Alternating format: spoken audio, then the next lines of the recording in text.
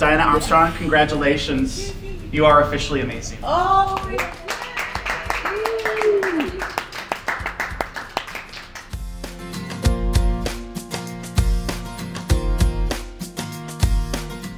I am Brainia, the daughter of Diana Armstrong, and she has the longest fingernails on a pair of hands. My name is Diana Armstrong. I'm from Minneapolis, Minnesota. I always had long nails. Even when I was a little girl, I always had real pretty long nails.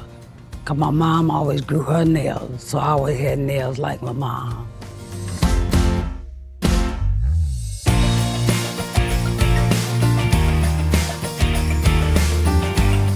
So who does her nails? My grandkids. My family love her nails. They just love her nails. like they like pay extra attention to her and they just think she like special. Well, my grandkids come over and do my nail. One nail took four to five hours, and I go through about 15 to 20 bottles of nail polish.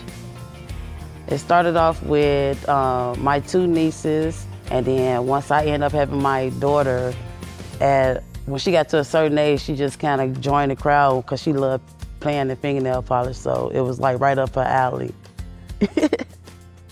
Every four or five years, I get them done after that. Now these, I won't get them done no more. Last time I painted my nail was this week, and it took four days.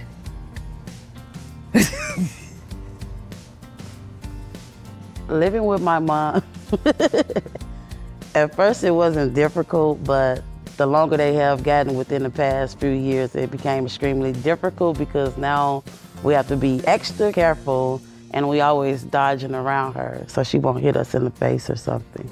Or we won't trip over her nails. I use my feet if I have to pick up clothes off the floor. I can even use my feet to open the refrigerator. I can use it to open the oven, but I want to use to cook with them. If I have to pick money off the floor, I can pick up like bills, but if I drop change on the floor, that'll just stay down there. I can pick that up.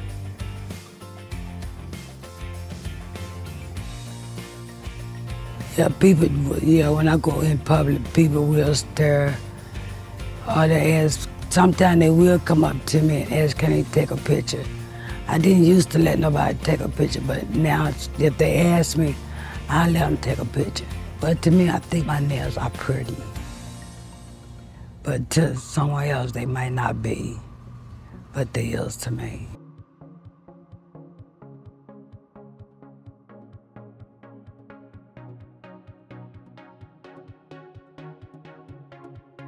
It always just been a thing that everybody always spoken about and always wanted to just, you know, just encourage her to do it.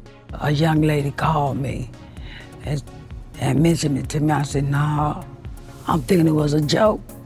So when she called me, I thought about it, I hung up. You know, because I thought somebody was trying to be funny. But then she called back and I said, well, you got to talk to my daughter. And I left it at that. But I really did thought that was a joke. When we learned today that my mother had the Guinness World Record title, I was in complete shock and emotional. I was happy. um, I don't think my mom would ever trim her nails. I don't think it's, I don't think she's gonna ever make that decision to do that because if she was, she would have been did it. Well, I've been growing my nails for 24 years. Um, I went through something when my daughter passed away in 97. She had died of an asthma attack in her sleep. She was 16 years old. She did, only one who did my nails. She polished them and filed them for me. I don't think I, you know, I don't think I ever cut my nails. Every time I look at my nails, I think of my daughter. Cause to me, I think she my guardian angel. And I just think of her. And so I think that she'll be proud of me because she's the last one did my nails. And that's who I think of when I grow my nails, is my daughter. My family is going to be extremely happy to know that my mom got the Guinness World Record title for the longest nails on a pair of hands.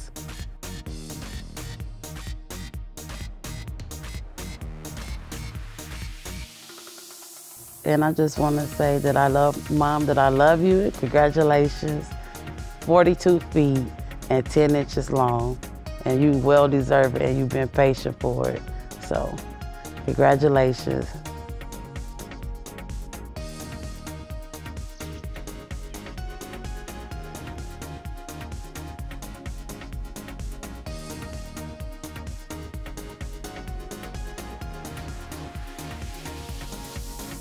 go.